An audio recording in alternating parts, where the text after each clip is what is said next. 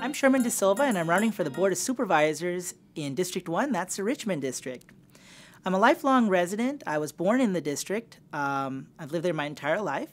I attended Sutro Elementary, Presidio Middle School, Washington High School, and I attended San Francisco State. In addition to living in the district, I also work as a manager at a store in the Richmond district just uh, on 20th and Geary.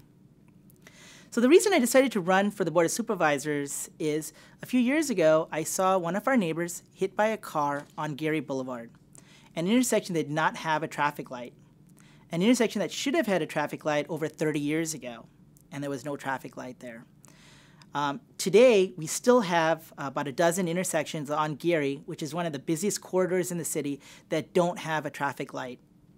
I think it is irresponsible on behalf of our elected officials not to make our safety a priority.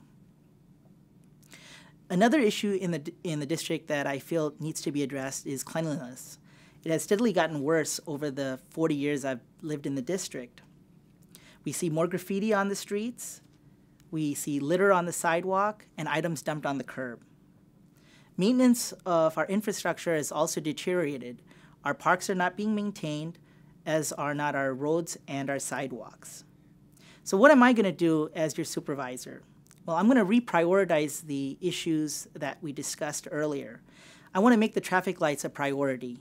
I want to make sure that we have traffic lights on all blocks from the Geary Tunnel to Ocean Beach and that they're timed so that traffic can move safely and efficiently across Geary and that pedestrians can cross the street without worry of being hit by a car.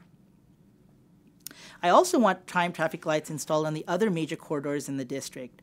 Those include Balboa, Fulton, Clement, and California. For street cleaning, I want to go back to two times a week street cleaning. I know it's a problem for people to move their cars every week, but if we don't, we have litter piling up on our curbs. This is not, this is not, uh, this does not help for cleanliness, and it is not a safe situation. I want to increase targeted street cleaning at, at business corridors to remove litter off the side uh, off the sidewalk as quick as possible. I want to make sure that graffiti is removed off our streets as soon as possible because we all know graffiti that stays proliferates across the neighborhood and spreads all over. And I want to work closely with Sunset Scavenger to get large items removed off the sidewalk as quick as possible so that they don't stay there for days at a time. For infrastructure, I want to make sure that we allocate funds on a yearly basis so that we have the funds necessary to replace our roads, our sidewalks, and our parks, and that we do not need to spend extra money uh, borrowing money uh, through bonds to pay for these things that we should be paying on a yearly basis. I want to increase parking in the neighborhood by, by uh, prioritizing parking and garages so that residents have places to park and businesses can encourage people from outside the district to shop here because we do have parking. I want to increase the distribution I, want to I want to have distribution of recycled water also throughout the neighborhood so that we have recycled water to wash our sidewalks, water our trees, and clean our trash cans and cars. This allows us not to use precious drinking water for these kind of tasks, especially in light of that we've had a drought over the last couple of years. So I can't make you any specific promises. All I can do is promise you is to be fair to everybody in the district, to listen to everybody's concern and find a balance between all of the goals and objectives and priorities of the different people in the district.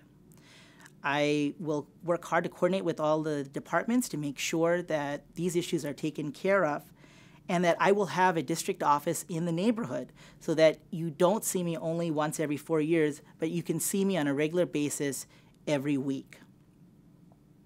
If you want fair and responsible government, you want somebody who's going to treat everybody fairly, and you want a clean and safe neighborhood, I urge you to check us out um, when you're deciding who you want to represent you as your next district supervisor for the Richmond district. Thank you.